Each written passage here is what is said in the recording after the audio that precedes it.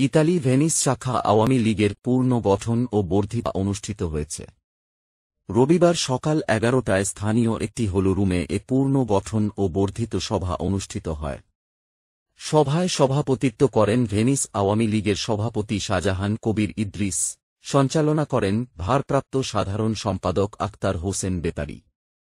Italy Awami লীগের সভাপতি হাজি মোহাম্মদ ইদ্রিস ফরাজি ও সাধারণ সম্পাদক হাসান ইকবালের নেতে আওয়ামী লীগকে সুসংগঠিত করার লক্ষ্যে মাননীয় প্রধানমন্ত্রী শেখ হাসিনাকে পুনরায় ক্ষমতায় আনতে সকল ধরনের বিভাজন ভুলে সকলকে ঐক্যবদ্ধভাবে কাজ করার আহ্বান জানান সভাপতি।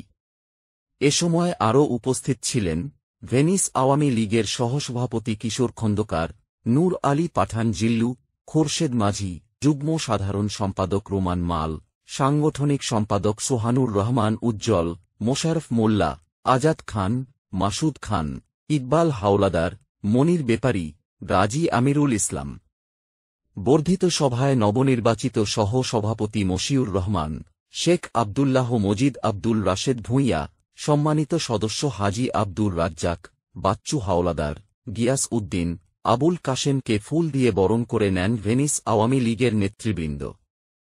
আরও উপস্থিত ছিলেন নবনির্বাচিত যুগ্ম সাধারণ সম্পাদক শহীদুল ইসলাম, নুরুজ্জামান, সাংগঠনিক সম্পাদক সেলিম জাভেদ, আলী আহমেদ, আবুল কালাম আজাদ, নয়ন আকন, দপ্তর সম্পাদক রাশেদ মিয়া, মুক্তিযোদ্ধা বিষয়ক সম্পাদক আক্তার খান, প্রচার সম্পাদক এবাদুল, ধর্ম বিষয়ক সম্পাদক মোস্তফা মিয়া, সাংস্কৃতিক সম্পাদক Ratan Mia.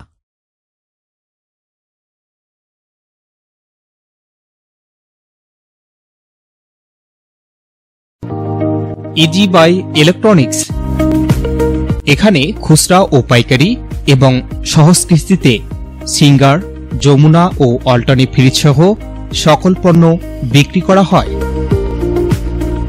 Proprietor Mohammad Abdur Razzak Mondal. স্থান, উপজেলা পরিষদ সংলগ্ন জামতলা রোড, পীরগঞ্জ, রংপুর।